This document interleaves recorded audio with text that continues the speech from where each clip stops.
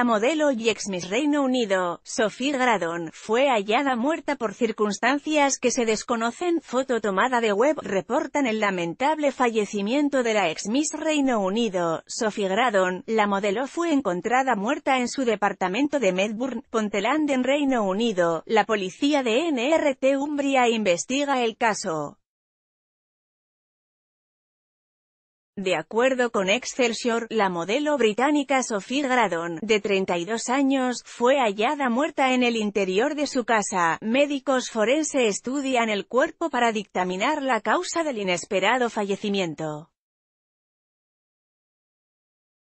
La fiesta a la que fueron juntos Luis Miguel y Luisito Rey, ahora se preparará un informe para el forense, indicó un vocero policial a los medios de comunicación locales.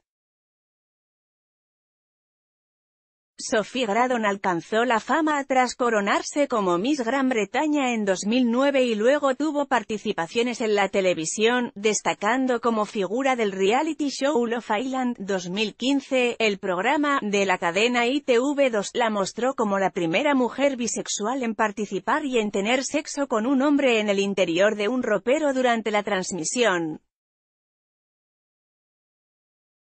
Su vínculo homosexual fue con la también modelo Katie Salmon.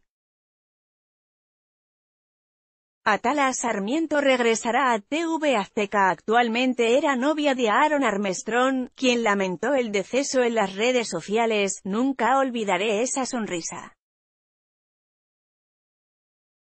Te amo tanto, cariño, eres mi mundo para siempre, público con acento agudo. N.